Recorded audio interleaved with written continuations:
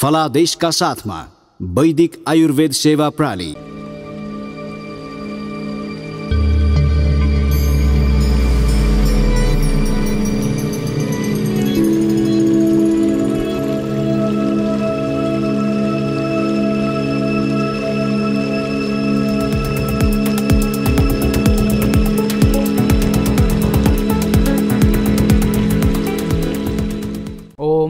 ओम शान्ति कर्माणि सर्वत्र तथा दुष्वप्रदर्शने ग्रह पीडा सुचाग्रेषु महात्म्यम शृणुयान मम।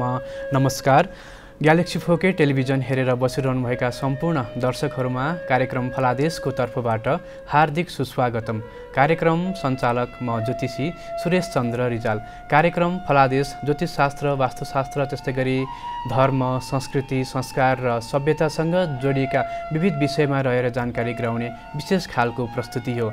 यो कार्यक्रममा हामीले दैनिक दिनको यो कार्यक्रममा हामीले दैनिक दिनको बारेमा जानकारी गराउनेछौँ। त्यस्तै गरी हामीले आजको दिनलाई कसरी आरम्भ गर्ने कसरी अगाडि बढाउने भन्ने विषयमा राशिफलको माध्यमबाट जानकारी गराउनेछौँ भने त्यस्तै गरी धर्म संस्कृति र संस्कारसँग जोडिएका विविध विषयमा रहे- रहेर जानकारी गराउने क्रममा आज हामी घटस्थापनाको चौथो दिनमा छौँ। माता भनिएको छ प्रथमम शैलपुत्री च द्वितीयम ब्रह्मचारिणी तृतीयम चन्द्रघण्टेति कुष्माण्डेति चतुर्थकम हामीले चौथो कुष्माण्डा भगवतीको विशेष गरी पूजा आराधना गरी आजको दिनलाई शुभारम्भ गर्दैछौँ।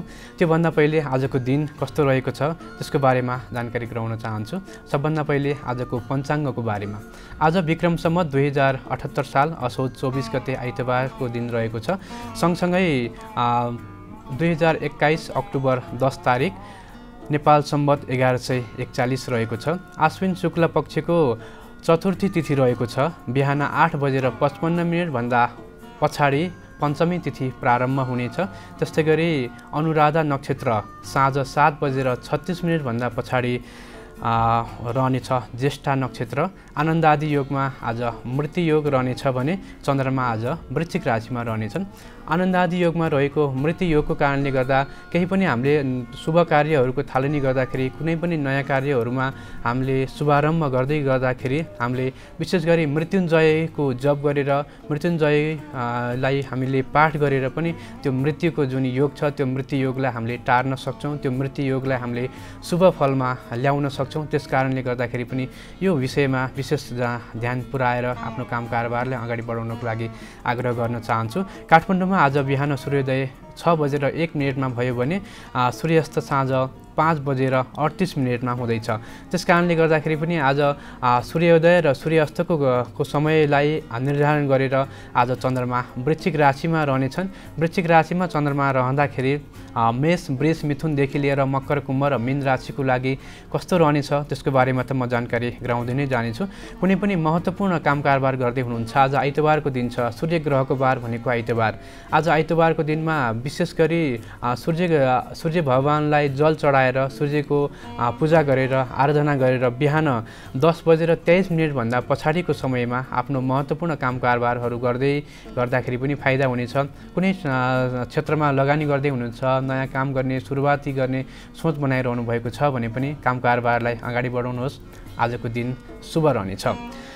त्यस्तै गरी आज हामी नवरात्रको चौथो दिनमा छौँ। कुष्माण्डा भगवतीको हामी पूजा आराधना गर्छौँ। कुष्माण्डा भगवती कस्ती भगवती भने भनेदेखि पृथ्वीलाई पनि धारण गर्न सक्ने भगवतीको रूपमा हामीले कुष्माण्डा भगवतीलाई लिन्छौँ हाम्रो सुख शान्ति र समृद्धिको लागि हामी जति पनि लागि परेका छौँ हाम्रो मन मस्तिष्क र विचारलाई एउटा सही तरिकाले जति पनि हामीले काममा लगाउन कोसिस गरिरहेका छौँ आज कुष्माण्डा भगवतीको पूजा आराधना गरेर गर्दै गर्नुभयो भने त्यसले विशेष फाइदा र कार्यसिद्धिको योग बनाउने कुराहरू शास्त्रमा व्याख्या गरिएको छ। त्यस्तै आज म विशेष गरी हामीले वास्तुशास्त्रको पनि आज केही कुराकानी गर्नेछौँ। त्यसको लागि हामीले सबैभन्दा पहिले हामीले हाम्रो घरमा जुन हामीले पूजा कोठा बनाउँछौँ पूजा मन्दिर हामीले भगवान्लाई स्थापना गर्नको लागि पूजा कोठा बनाउँछौँ। कतिपय व्यक्तिहरूले आफ्नो घरको जुन भर्याङको माथिको भागमा हामीले पूजा कोठाहरू बनाउँछौँ। त्यो कारणले गर्दाखेरि कतिपय घरमा शान्ति पनि छैन सुख पनि छैन लक्ष्मीको बास पनि हुन सकिरहेको छैन।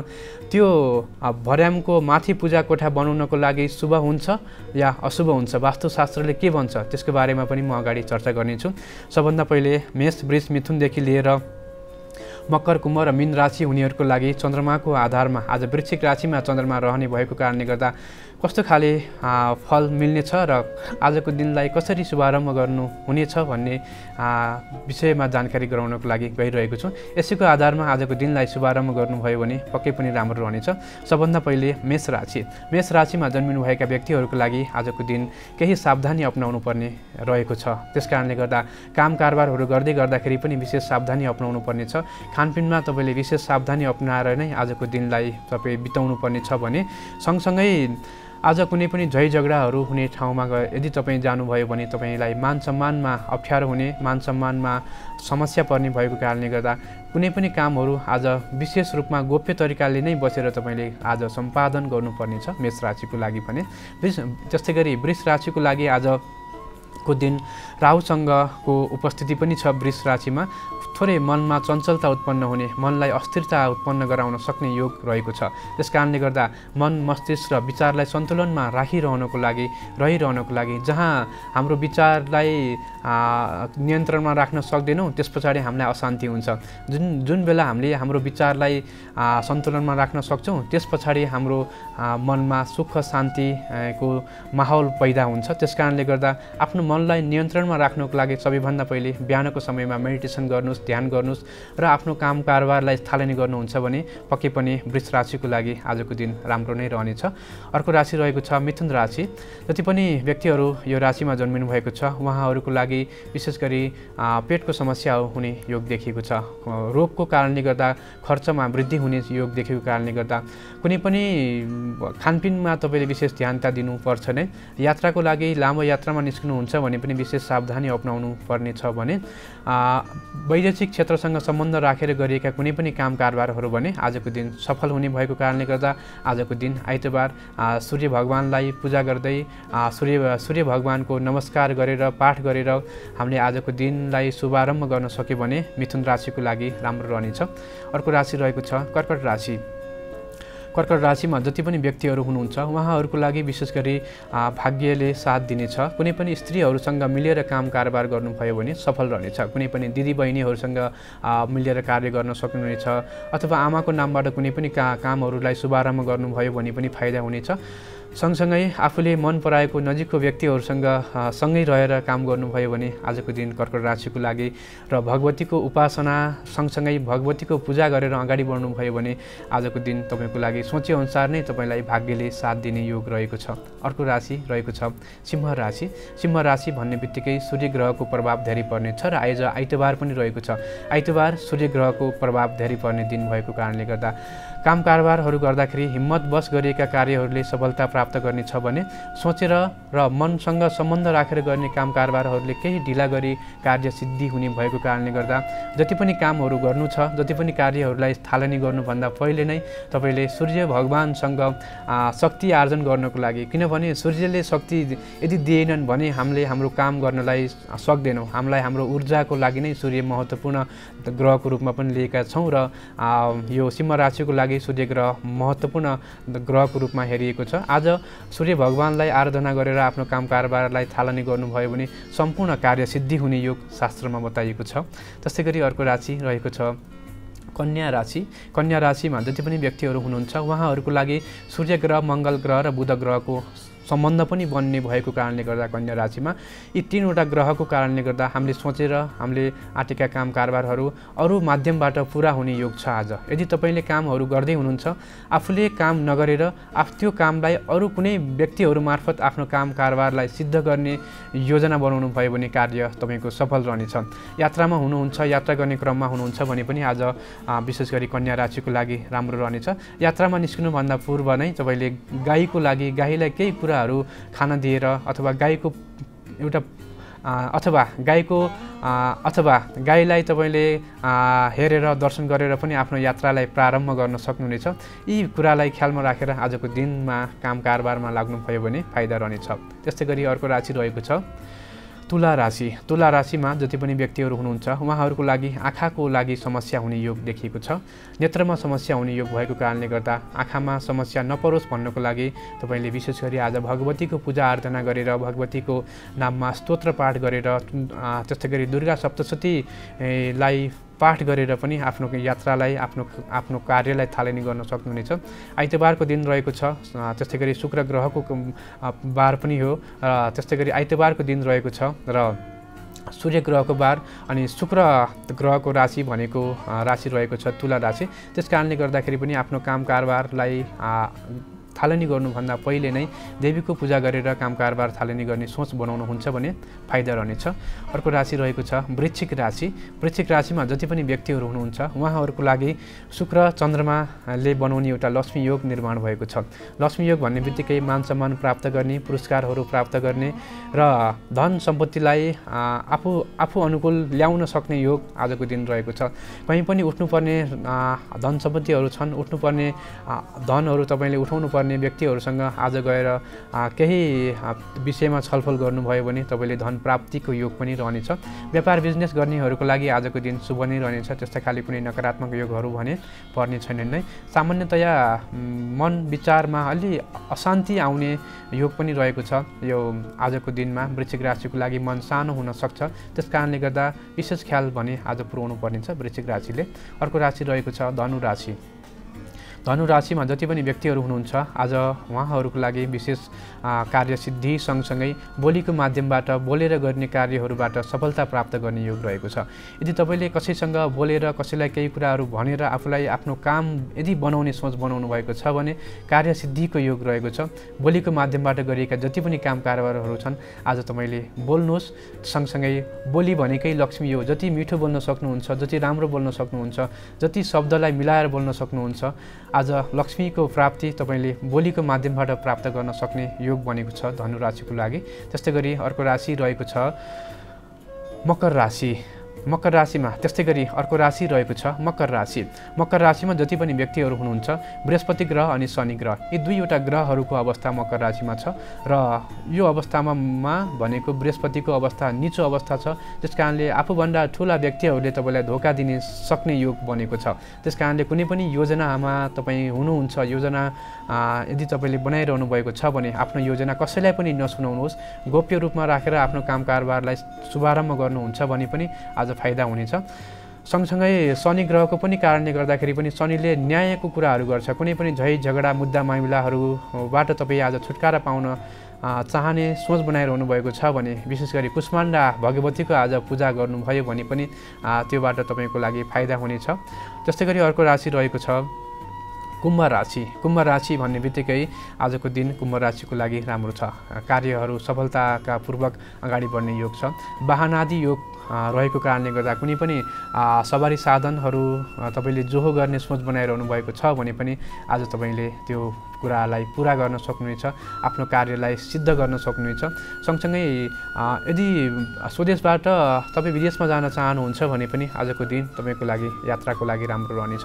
सँगसँगै यात्राको योग भएको कारणले गर्दा घुम्ने त्यस्तै गरी भ्रमणको कार्यहरू जति पनि छन् आजको दिनमा तपाईँले सफलतापूर्वक आजको दिन तपाईँको लागि राम्रो रहनेछ। अन्तिममा रहेको छ मिन राशि।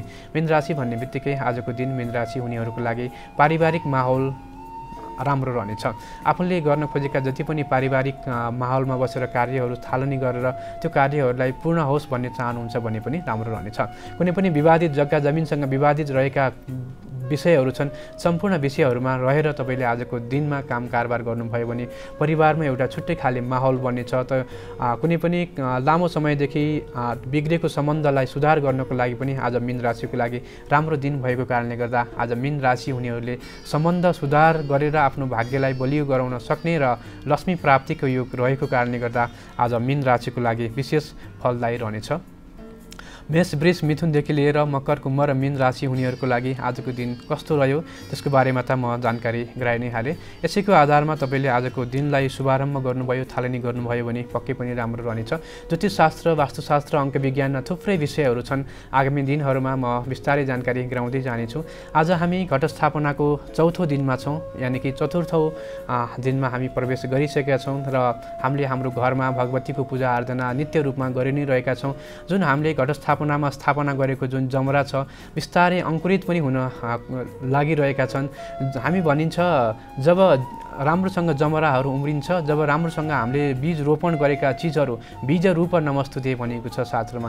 जब चन्द्रमाबाट आउने प्रभाव चन्द्रमाबाट आउने जुन शक्ति छ त्यो शक्ति त्यही बीजको माध्यमबाट प्राप्त हुने कुरा छ। त्यस कारणले न बीज रूप नमस्तुते यदि चन्द्रमाको प्रभाव यदि चन्द्र यदि चन्द्रमाको प्रकाशलाई कुनै पनि कारणले छेकियो भने छेलियो भने चाहिँ त्यो बिजहरू हाम्रो शरीरमा हामीले रोपिएका वस्तुहरूमा फल लाग्न सक्दैन। त्यस कारणले गर्दा बीज रूप नमस्तुति भनिएको छ चन्द्रमालाई। यो पनि एउटा माता भगवतीको नै स्वरूप हो। चन्द्रमा पनि एउटा भगवतीकै स्वरूपमा हामी पूजा गर्छौँ। चन्द्रदेवलाई हामीले त्यसरी पूजा गर्ने कुराहरू छ र चन्द्रमा एउटा स्त्रीकारक ग्रहको रूपमा पनि हामी हामीले हेर्नेछौँ। र चन्द्रमालाई विशेष गरी मनसँग सम्बन्ध राखेर गर्ने कुराहरूलाई शास्त्रमा बताइएको छ। जति पनि मनोवाञ्छित फल प्राप्त गर्नको लागि चन्द्रमाको पूजाहरू गर्नुपर्ने कुराहरू शास्त्रमा बताइएको छ। आज घटस्थापनाको चौथो दिन माता भगवतीको पूजा आराधना गर्दै हामीले विशेष गरी हाम्रो घरमा मनाइरहेका छौँ र त्यस्तै गरी आज कुष्माण्डा भगवती कुष्माण्डा भगवती भनेको